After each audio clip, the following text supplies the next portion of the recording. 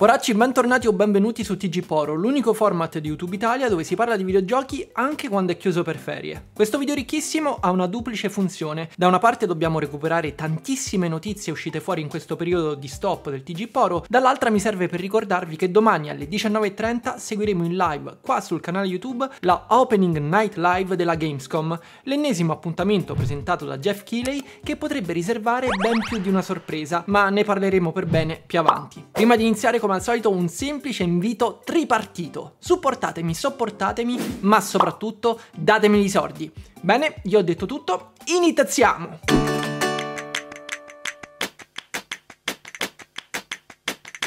Dopo tutte queste settimane di assenza, anche l'angolo della poracciata è bello gonfio. Da una parte c'è il solito Epic Game Store che, cascasse il mondo, continua a regalare giochi gratis ogni settimana. Avete tempo fino al 22 per aggiungere alla vostra libreria digitale piena di titoli mai avviati World of Warships Starter Pack Albany e Death's Gambit Afterlife. Dopodiché sarà il turno di Gigantic Rampage Edition e del controverso quanto spernacchiato di Callisto Protocol. Ora invece dovete sganciare qualche decina di euro, ma vi assicuro che ne vale la pena. No, non mi riferisco al Porion, ma all'Humble Bundle targato Capcom. Per poco meno di 28 euro potete portarvi a casa un bundle ricchissimo che comprende roba potente come Ghost Trick, la Fighting Collection, il Beat'em Up Bundle, 5 titoli della serie di Ace Attorney divisi in due collection e tutti Dead Rising dal secondo al quarto capitolo e non solo. Il tutto poi giocabile comodamente su Steam Deck, un vero affare. A proposito di affari vi ricordo che attivo il giveaway di agosto su Instant Gaming. Partecipare è gratuito, basta avere un account Instant Gaming e il fortunato vincitore potrà portarsi a casa un gioco a sua scelta dal catalogo del sito. E visto che ci siete, date anche un'occhiata agli sconti in tendenza. Ci sono ottimi prezzi sui titoli più chiacchierati del momento come Black Myth Wukong e il DLC di Elden Ring. E visto che lo abbiamo citato, domani domani esce Black Myth Wukong e lo scorso venerdì sono state pubblicate le recensioni di uno dei giochi più attesi dell'anno. Dalla reveal avvenuto nel 2020 ad oggi, critica e pubblico hanno puntato gli occhi su questo action ad opera del team cinese Game Science e il verdetto della stampa specializzata sembra premiare il gioco ma con qualche riserva. Wukong, sebbene sia erroneamente associata al mondo dei Souls-like, è un action convincente nel gameplay, esteticamente impressionante ma che presenta qualche sbavatura in termini di design, ma soprattutto un bel po' di problemi a livello tecnico. La media Metacritic si attesta intorno all'82, ma ancora non è ben chiaro come girerà il gioco su PlayStation 5, visto che a quanto pare per le recensioni sono stati distribuiti solo codici per la versione PC. Insomma, state attenti e tenete gli occhi aperti se stavate considerando un acquisto su console. Ma torniamo di prepotenzia sull'angolo della poracciata perché abbiamo grandi novità da parte di Nintendo. Innanzitutto gli abbonati al Nintendo Switch Online hanno la possibilità di provare gratuitamente gratuitamente fino al 25 agosto ben 4 titoli: Tetris Effect Connected, Power Wash Simulator, Enter the Gungeon e Cassette Beasts. Ma ancora più interessante è l'annuncio riguardante Emio, Domani sarà infatti pubblicata una demo del titolo che darà la possibilità ai giocatori di provare il prologo e il capitolo 1 di questa intrigante vision novel, ma la cosa particolare è che il 23 la demo sbloccherà il secondo capitolo e il 28 sarà possibile giocare anche al terzo. Il 29 poi, il giorno di uscita di Emio, si potranno portare i propri salvataggi sulla versione completa. Niente male, vero? Comunque qualcuno lo deve dire. Siamo di fronte al primo caso di Demio no? Demo molto più classica invece per Bakeru o Bakeru, l'erede spirituale di Gemon, che finalmente arriverà in occidente il prossimo 3 settembre. Il titolo è uscito lo scorso anno, ma è rimasto confinato in Giappone e il suo arrivo non è affatto da sottovalutare. Infatti gli sviluppatori sono quelli di Good Feel, lo studio che in passato ha messo la firma su Yoshi's Woolly World e Crafted World. Provatelo e poi ditemi cosa ne pensate. Mese imperdibile anche per il PlayStation Plus. Domani ci sarà la consueta infornata mensile dei giochi giochi per i tier extra e premium. Ora, va benissimo esultare per The Witcher 3, Wild Hearts, Cult of the Lamb e compagnia bella, ma io mi sento male nello scoprire che la trilogia dei Time Splitters sarà giunta al catalogo. Cioè stiamo parlando di una delle migliori serie di FPS di sempre, riproposta nella sua interezza, dopo anni di dimenticatoio e dopo che il progetto del reboot remake si è concretizzato in un nulla di fatto per colpa dell'incompetenza dei top manager di Embracer Group. Comunque, recuperate cercateli se volete farvi un'idea di cosa significasse giocare in multiplayer locale in split screen nei primi anni 2000. Lo ripeto sempre, ma Time Splitters 2 rimane uno dei miei giochi del cuore. Abbiamo un'altra notiziona, abbiamo infatti la data di uscita di The Plucky Squire prevista per il prossimo 17 settembre. Manca poco. Il titolo sarà disponibile in digitale, ma è stato promesso che prima o poi ne verrà prodotta una versione fisica. Cade a fagiolo quindi l'annuncio che il titolo sarà inserito al day one all'interno del PlayStation Plus Extra, un bel modo per evitare il doppio acquisto prima digitale, poi fisico. Visto che ci sono vi parlo di una storia molto simile, quella di Balatro, la mia personalissima droga del 2024. Mentre non sappiamo ancora nulla dell'edizione fisica, che arriverà quando arriverà, cheat, il gioco ha raggiunto un grande traguardo, i 2 milioni di copie vendute. them. Per festeggiare, lo sviluppatore Local Thunk ha svelato che quest'estate ci saranno due sorprese riguardanti il gioco e che nel 2025 arriverà la prima major update che aggiungerà parecchi contenuti e sarà completamente gratuita. Il consiglio che posso darvi è quello di stare alla larga da Balatro se siete proni a qualsiasi tipo di dipendenza, non per forza quella del gioco d'azzardo. Per me ormai è troppo tardi, ma voi forse siete ancora in tempo per salvarvi. Tempo e pazienza sono i due elementi fondamentali attorno a cui ruotano le prossime notizie. Ci sono sono voluti 14 anni, ma a quanto pare Rockstar si è finalmente decisa a pubblicare il primo Red Dead Redemption anche su PC. Non che ci sia stato un annuncio ufficiale, ma per un breve lasso di tempo la descrizione della remastered presente sul PlayStation Network si riferiva erroneamente alla versione PC, dove venivano indicati miglioramenti specifici a risoluzione e frame rate, la possibilità di utilizzare più monitor e supporto a sistemi audio 3D, insomma tutte le migliorie che ci si aspetta quando un titolo viene proposto su computer. Ora manca solo l'annuncio ufficiale. Anche Remedy si sta prendendo tutto il tempo necessario per portare avanti in parallelo tre progetti, due dei quali sono massicci. Lo studio dietro ad Alan Wake 2 ha confermato che lo sviluppo di Control 2 e del remake dei due Max Payne procede a gonfie vele.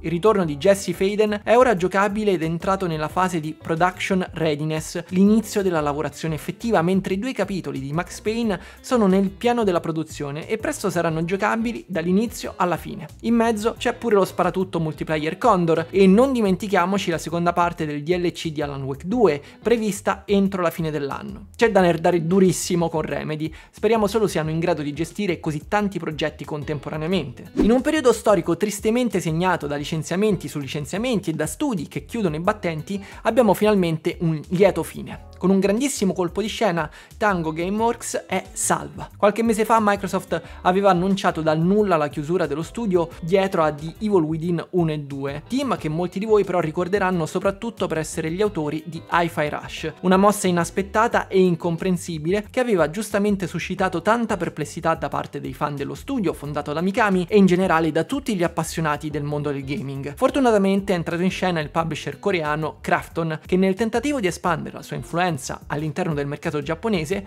ha acquistato da Zenimax non solo lo studio, ma anche la proprietà intellettuale di Hi-Fi Rush. Quindi non solo Tango Gameworks continuerà ad operare, ma i suoi creativi, molti dei quali sono stati richiamati negli uffici dopo il licenziamento, potranno portare avanti la saga di Hi-Fi Rush con un secondo capitolo. E chiudiamo questa prima parte con un potenziale lieto fine. Il remake di Silent Hill 2 è una di quelle operazioni che davo per spacciate ancora prima di uscire. Ripongo pochissima fiducia in Bluebird Team, ancor meno in Konami, e i primi trailer di presentazione di questa reimmaginazione di un mostro sacro non è che facessero proprio ben sperare. Però bisogna essere obiettivi, lo story trailer pubblicato proprio oggi è tutta un'altra cosa. Anche i video gameplay che stanno circolando in queste ore dimostrano come il più grande problema di questo remake sia stata in realtà una campagna marketing non in grado di valorizzare realizzare il prodotto finale. L'8 ottobre è ormai dietro l'angolo. Voi andrete di day one? Ok, passiamo alle notizie del giorno. Abbiamo infatti un Nintendo Direct di agosto previsto per domani, più o meno. Infatti, domani mattina, alle ore 9 italiane, Nintendo pubblicherà una presentazione incentrata sul museo dedicato alla storia della grande N. Il filmato durerà circa 10 minuti e viene descritto come un breve giro del Nintendo Museum che aprirà nell'autunno di quest'anno a Kyoto. Insomma,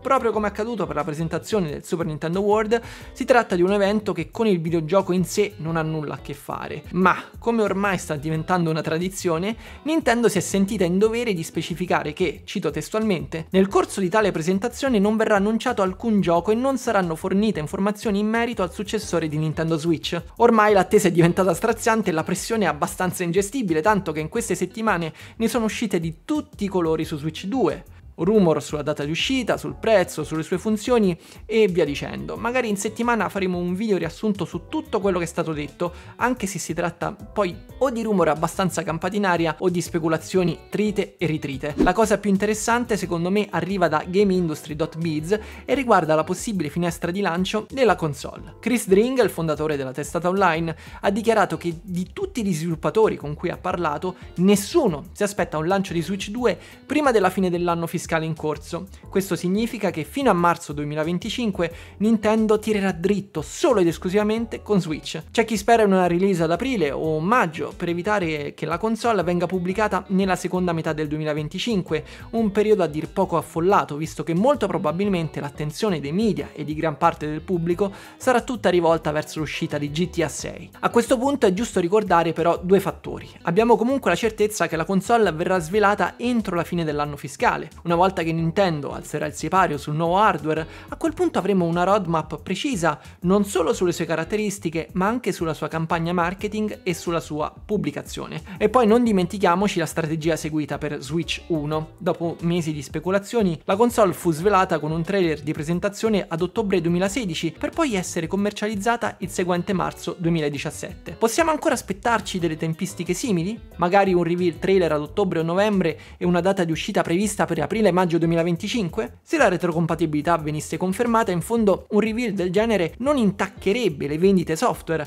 al massimo potrebbe accelerare il declino di quelle hardware che però, come abbiamo già visto, sono in netto calo già da qualche tempo. Voi che cosa ne pensate? E chiudiamo parlando della Opening Night Live della Gamescom 2024. L'evento serale presentato da Jeff Keighley inizierà alle 20 e durerà circa due ore. Noi lo seguiremo in live qua su YouTube, come al solito si tratterà di un evento dove sarà dato spazio a un'enorme quantità di titoli. Vi dico quali sono le cose che secondo me sono potenzialmente le più interessanti tra rumor e presenze già confermate. Partiamo però da quello che di sicuro non ci sarà. È stato lo stesso Keighley a confermare che Silksong non sarà presente presente all'evento. Ormai il seguito di Hollow Knight non è un gioco, è un miraggio, anzi un meme. A questo punto sono convinto che sarà associato al lancio di Switch 2. Xbox ha confermato una presenza massiccia durante tutta la Gamescom, ci sarà spazio quindi per scoprire di più sull'espansione di Diablo 4 e Shattered Space, il DLC di Starfield, e dovremo finalmente avere una data di uscita per l'FPS di Indiana Jones, che è ancora previsto entro la fine del 2024. Si vocifera poi del possibile annuncio dell'arrivo su PlayStation di un'esclusiva Xbox. I rumor in questo frangente si sprecano, ma la maggior parte dei leaker si divide tra il possibile approdo di Forza Horizon o quello di Flight Simulator. Abbiamo poi la presenza già confermata di pezzi da 90 come Civilization 7, il nuovo fighting game di Dragon Ball, Black Ops 6 e Monster Hunter Wilds, ma fossi in voi terrei gli occhi aperti anche per dei titoli tra virgolette minori, ovvero non solo il nuovo Little Nightmares, ma anche per il nuovo titolo ad opera di Tarsier Studios, gli autori dei primi due capitoli della saga. Nel mentre il Kojimone nazionale ha ricominciato a postare sui social senza tregua dei teaser per Death Stranding 2 e, considerata l'amicizia con Jeff Keighley, direi che scopriremo di sicuro qualcosa in più sul nuovo titolo del leggendario game designer. Tra i ritorni inaspettati invece potrebbero esserci le remaster dei primi Soul River, rumoreggiati da un po' e appena annunciati per Evercade, e anche per una remastered di Bully, visto che il titolo è apparso su diversi siti degli enti internazionali di rating. Infine anche Sega sarà presente con un misterioso titolo non ancora annunciato. Insomma, potenzialmente di carne al fuoco ce n'è tanta, ma sappiamo tutti che con gli eventi di Keeley è sempre meglio andarci con i piedi di piombo. Vi aspetto comunque domani alle 19.30, mi raccomando non mancate. E questo però è tutto per oggi, vi aspetto qua sotto nei commenti per continuare a discutere delle notizie del giorno. Non mi resta che darvi appuntamento a domani con una nuova live. Voi nel frattempo mi raccomando, fate i bravi, riposatevi dormendo sogni tranquilli, ma soprattutto nerdate duro. Io sono il Poro Games, Michele Com, ciao! Ehi ehi ehi, fermo! Se questo tipo di video ti piace, prendi in considerazione l'idea di supportarmi sul Poreon, il Patreon dei Poracci. Con un piccolo contributo mensile mi puoi aiutare enormemente nella creazione di video qua sul canale e in più ricevi in cambio delle ricompense di tutto rispetto, come retroscena, anteprime e anche live esclusive dove andremo insieme a caccia di retro game. Ti lascio il link in descrizione e ricordati che Poracci si diventa